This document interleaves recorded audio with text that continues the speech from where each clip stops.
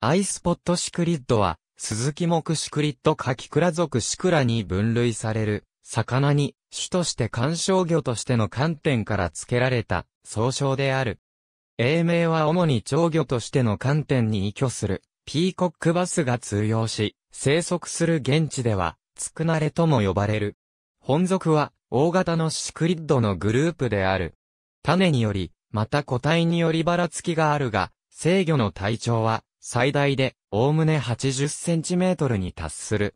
口は大きく、広角が、目の後端を超える。また、興奮と目がやや離れて位置しているため、その分頭部と口が、より大きい。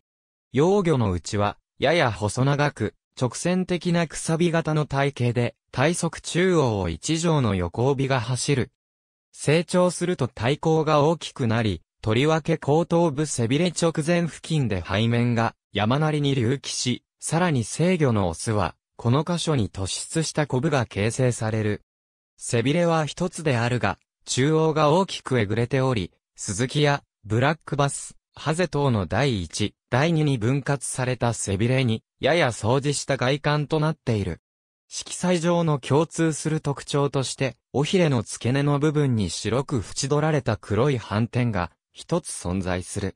この目玉模様が名前の由来であり、ピーコックバスという呼び名もこの斑点をクジャクの尾羽に見立てたものである。他の色彩、模様は種により多様であるが、高褐色や黄緑を帯びた体色と黒い縞模様を持つものが多い。南アメリカのアマゾン川水系などに生息する。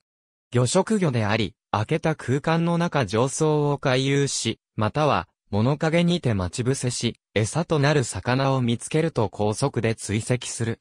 視覚が鋭く、一部の捕食性海水魚と同様、光るものに強い反応を示す。野生状態ではほぼ魚染色であり、他のスズキ目肉食魚のように、無脊椎動物や、死餌を食べることは稀だとされている。原産地では、他の魚と同様、食用魚として漁獲される。いわゆる、バス類の一種として、ゲームフィッシングの対象として利用されている。本来の生息地以外にもグアムフロリダ半島、ハワイ、東南アジアなど温暖な地域に移植されている。動かないもの、動きの鈍いものにあまり反応をしないため、疑似餌にはもっぱら、ハードルアーが用いられる。アクアリウムにおいてもポピュラーなシクリッドの一つである。養殖されたものが5センチメートルから10センチメートルの若菜の状態で流通する。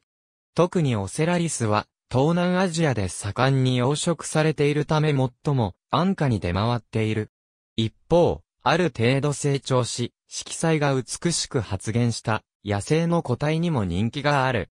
闘争性の強さと優位性の高さから、水槽の広さや同居する相手には注意が必要である。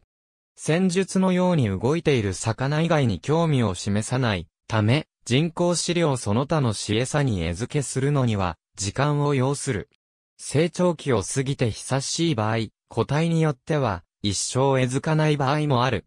シクラ属は6種が知られていたが、未制御及び制御時の色彩と、ヒレ上数、鱗数の際によって2006年に9種が新たに記載され細分化された。なお、同じ種であっても生息する地域によって、色彩や模様の特徴は大きく異なる。ありがとうございます。